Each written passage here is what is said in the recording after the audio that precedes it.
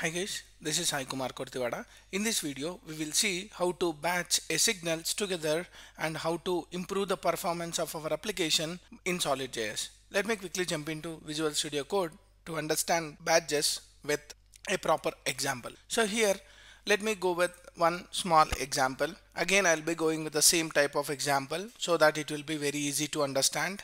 I'll be using age property and set age as a signal. So let me use a create signal and let me use a default value as 10.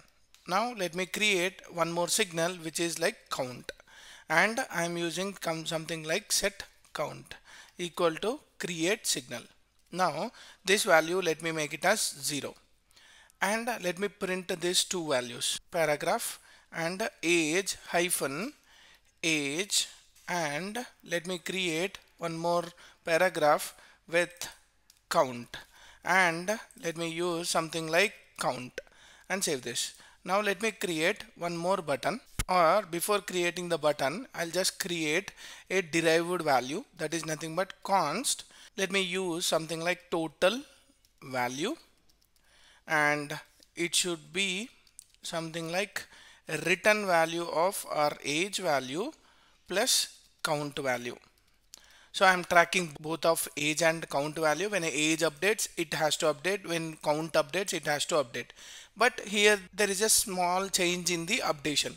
For example, instead of having two individual buttons, I have one individual button which should update two particular signals. For example, I have a on click event over here and this on click event should update the age and count.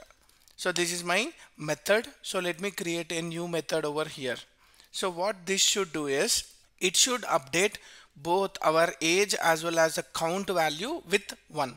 That means in this case I can use something like set age of get the previous age value plus 1 and let me get set count of count value plus 1. So on one click I want to update both age and count. So like this I want to update. So when I click on this button, it has to update the age as well as the count. When this updates, then it will be calling this total value. Let me copy this total value and let me get the new value from this total value. That is also a signal. So hence we need to call this value. Let me save this, go here. Now age is 10 and count is 0. So the total count is 10. So when I update this age and count, age should be 11, count should be 1 and this should be 12. Let me hit this. So it is 11 plus 1 is 12. Let me hit this 12 plus 2 is 14. But that means it is updating age, it is updating the count at the same click and it is updating the total value as well. But there is one problem here. This age and count are dependent on each other and they are updating on a batch wise. That means it is updating at a time. So what is the problem over here? I feel the problem is with updation of the values. For example, I am using something like inside derived signal and how many times it is getting updated? One time and two times so the total value will get updated one time and two times. So internally total value will be updated by using two values. One is age and the count. That means on one click if I update both of this this total value will be invoked two times. So let me see that. Let me go here. First time it is a derived signal. Let me clean this.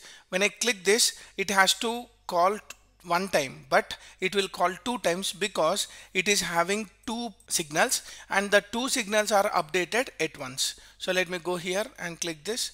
If you see here inside derived signal inside derived signal. The method is invoked two times. You are able to see only one value but internally it is executing two times. So this is a type of performance issue.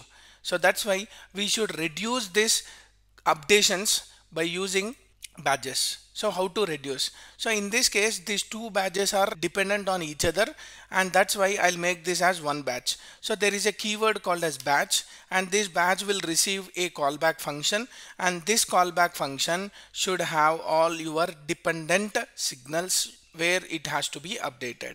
In this case what it will do is it will wait until it, this whole batch completes its updates and then it will give the signal to that particular dependent signals. That means here age and count will get updated and then only it will tell this total value to check the value. Otherwise it will not tell immediately once the age is updated and count is updated. So let me go here clear this off and reload. On the reload it called for the first time. And when I click this it will update age it will update count it will update total value and the total value derived signal will be called only once or invoked only once. Let me click this. You can see here inside derived signals. Let me click again inside derived signal. Let me click again inside derived signal. That means it is just calling one time and instead of calling n number of times. So this could be a small issue for, for us in this example, but there could be a situation where you can combine n number of signals and you are updating all the signals at a time. Then this total value will be equivalent to the invocation of how many signals you are using inside this particular derived signals. So that's why it is always recommended when there is a dependent signals and they are updating in a sequence then always use a batch of these signals. Then only this batching signal will help us to invoke less number of times until unless it is completing all these batch updates. So that's about batching a signal. So it helps a more and more whenever there is a dependent uh, things or derived signals which are using two or more signals and updated at once then we have to use batching this